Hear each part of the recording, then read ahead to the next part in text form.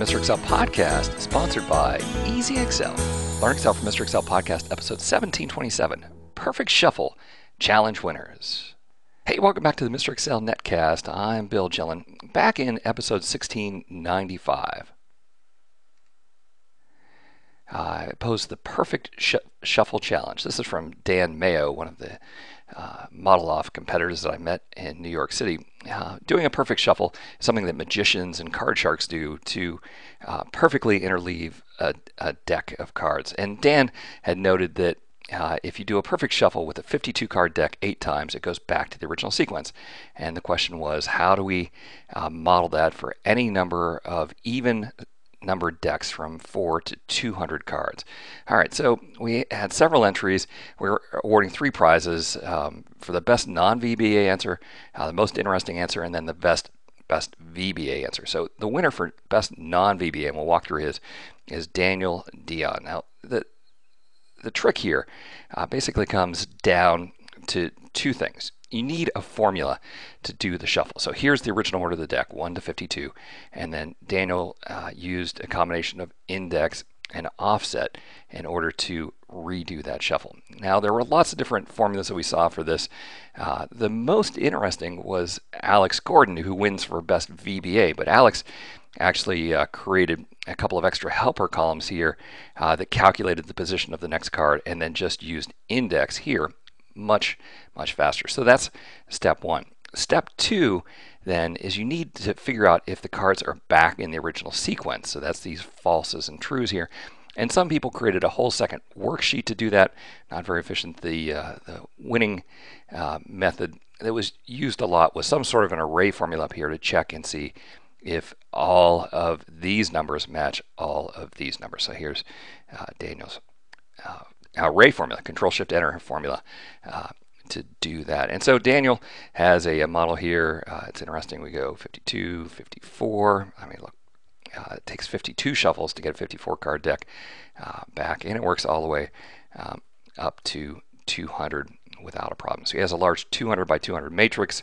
Uh, if you choose a small number, the formulas are still here, uh, but he's very cleverly used conditional formatting to just hide all that with you know uh, semicolon, semicolon, semicolon, custom number format. Uh, so a very clever method there. Now, one of the questions we had asked is, is there any pattern that emerges? And this is Alex Gordon's data, but my ugly chart here, that's in Excel 2013 uh, recommended chart. And you can see that there really, uh, as the size of the deck increases, there is no linear relationship. It, it goes up and down and up and down. Uh, and here, even Alex gives us for up to a thousand uh, size decks, uh, you know, there's, there's no clear pattern that evolves. But what we were interested in, what Dan was thinking there when he was asking for a pattern, is for VBA, it really comes down to being able to track the position of the number two card. When the two card comes back to the right spot, then you know that you have the deck shuffled. And there's a lot of heavy duty mathematics behind that, but that's what we're looking for. Where is the number two card? And so the best VBA solutions took advantage of that. Now, one interesting VBA solution came from Leo Meijer. Leo's VBA actually does the shuffle. So he has an array, splits it in half, and then perfectly interleaves the cards back together. Leo's wasn't the fastest, but we thought that was a clever way to go.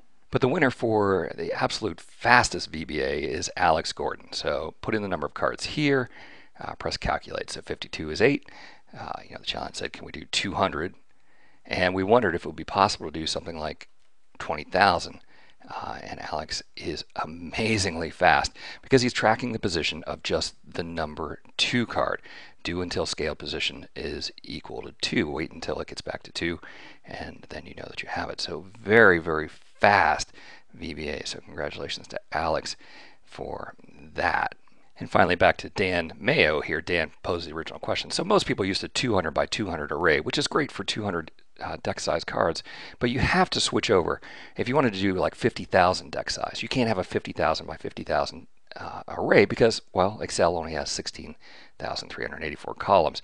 So tracking the position of the number two card after the shuffle, this great little formula here will do that. Uh, lets you just do a two column by deck size, 2 by 50,000. uh, for example, uh, and and that works.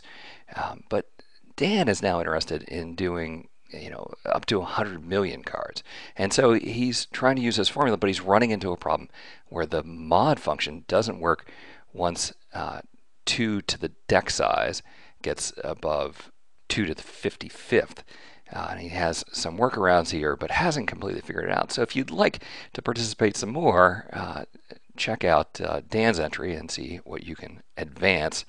Now, all three winners, Alex, Daniel, and Leo, uh, win our bundle of nine ebooks uh, for download, a $99 value. I want to thank them for entering. I'm also going to award Dan Mayoh a prize for uh, posing this challenge. Very interesting uh, challenge. and get the challenge of the month uh, back alive again. And again, if you're interested, go to mrexcel.com slash pc19.shtml. Uh, we have a link down there where you can download the workbooks from all four of these folks uh, right there. Uh, download as a zip file and take a look. Okay, well, hey, I want to thank you for stopping by. We'll see you next time for another netcast. Mr. Excel.